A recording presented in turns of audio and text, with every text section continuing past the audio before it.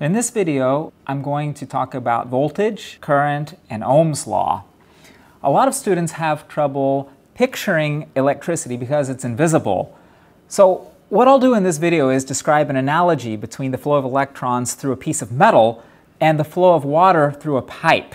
Because water is something that's very easy to picture, and this mental image may help to clarify the difference, for example, between current, voltage, and resistance in a circuit.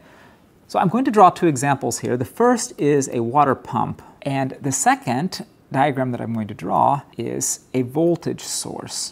A water pump is a lot like a voltage source, but let's first talk about the difference between voltage and current in the context of the water pump. Current is related to the flow, so we could say that current can be defined as a measure of flow voltage can be defined as a measure of pressure. And I hope you can see from the very beginning that in order to have any source at all, in order for a pump to work, we can't just have one port. We have to have two ports because water has to go into the pump and then water has to go out of the pump. You have to have a source of the water. The same thing is true with a voltage source. You have to have two wires connected to it. You can't just have a voltage source without two terminals because then it wouldn't make any sense. We have to pump electricity. We have to pump electrons or move electrons from one point to another. So this is why in electronics we typically have to have a circuit. Let's go ahead and draw a circuit with the pump. I've now drawn two analogous situations. A pump pumping water in a loop is very similar to a voltage source or a power source pumping electrons through a resistor. Let's talk about the analogies between the two situations. A measure of the flow of water around this circuit, for example, how many liters per second are flowing past a given point, is analogous to the situation in a circuit with amperes. How many coulombs per second of charge are flowing past a given point in the wire? Or how many electrons per second are flowing past a given point on the wire is equivalent to how many molecules of water are flowing through a certain cross-sectional area of the pipe. You'll notice that I drew a constriction in the pipe. The more I constrict the pipe, the harder the pump has to work to maintain a certain flow of water in the circuit. The same thing is true with the resistance. If I use a larger resistance, then the flow of electricity measured in amperes, for that flow to remain the same, the voltage source would have to output more power. Let's consider the situation where the pipe would be cut off completely. What does the pump do if no water can flow? You see, we might have water in this section of the pipe and we might have water in this section of the pipe, but if there's a valve that's closed off on the ends of the pipe, then the water can't flow. You might have the pump turned on. The pump is working really hard. It's trying to pump the water, but the water can't go anywhere.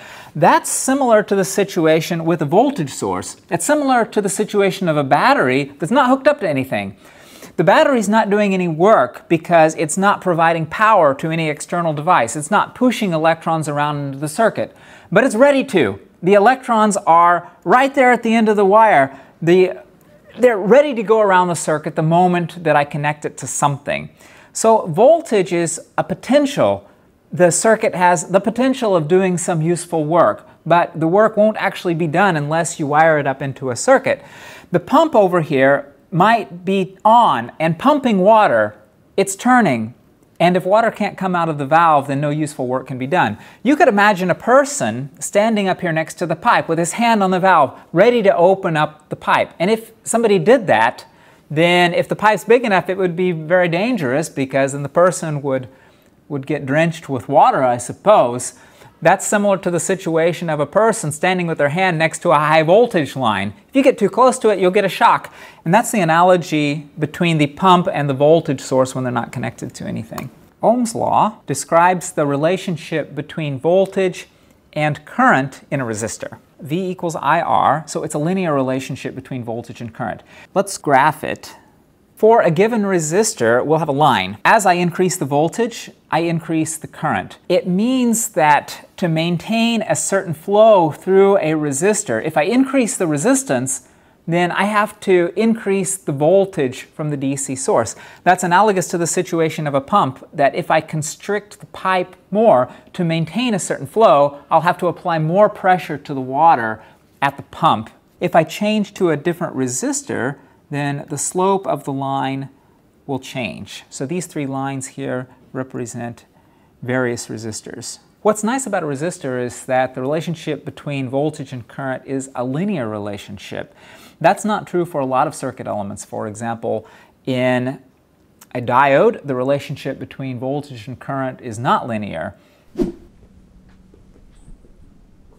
If you enjoyed watching this video, then you might be interested in following our playlist and learning more about the fundamentals of electrical circuits.